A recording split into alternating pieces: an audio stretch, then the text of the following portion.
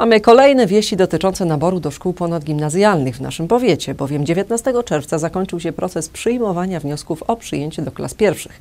I chociaż szczegóły będą znane dopiero za tydzień, wiadomo już, że liczba uczniów jest podobna do roku ubiegłego.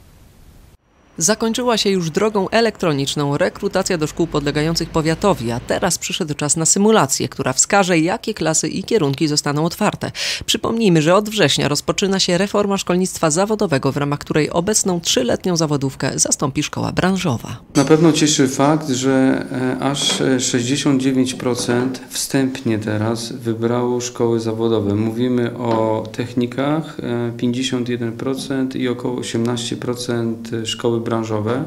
Przy czym wydaje się, statystycznie rzecz biorąc, e, że ta relacja powinna być e, trochę korzystniejsza na rzecz e, szkół branżowych, a to z tego względu, z doświadczeń naszych sprzed kilku lat wiemy, że po prostu czasami trochę na wyrost część osób wybierających szkolnictwo zawo- zawodowe wybiera technika.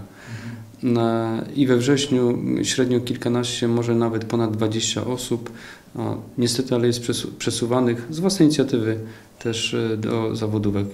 Tutaj od września branżówek. Może być też tak, że część aplikujących do klas w liceum i technikum absolwentów szkół gimnazjalnych nie zostanie przyjęta również z innych względów. Na przykład okazuje się, że zainteresowani do technikum mają na przykład 80 punktów albo 75. To są osoby e, przy pełnym szacunku dla nich, które nie rokują nadziei, że sobie poradzą po prostu pod względem nauki w technikach.